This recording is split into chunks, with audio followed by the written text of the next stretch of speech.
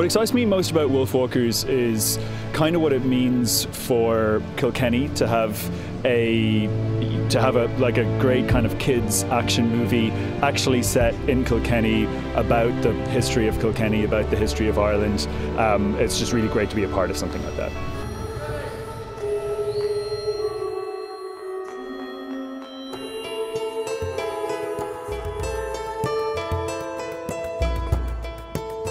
We made the film in Kilkenny and the film is set in Kilkenny. Uh, so be, to be able to kind of have that here and you go and see it in the cinema and then you walk outside and you see the castle that was in the film. Like it's incredible. Like that's a once in a lifetime opportunity. So I'm so glad we got to do that.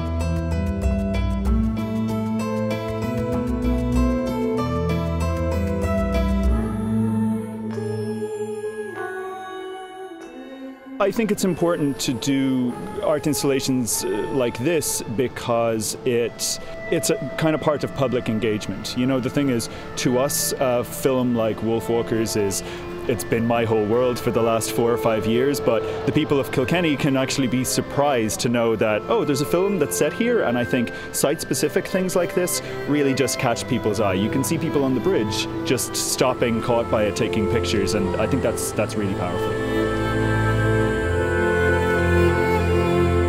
Like the, the world is difficult and scary right now, um, but we, we always turn to art.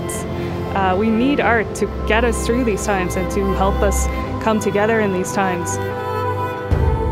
I hope you, everything, everyone watch uh, the movie and I hope they enjoy it. And please come visit Kilkenny because it's a lovely place.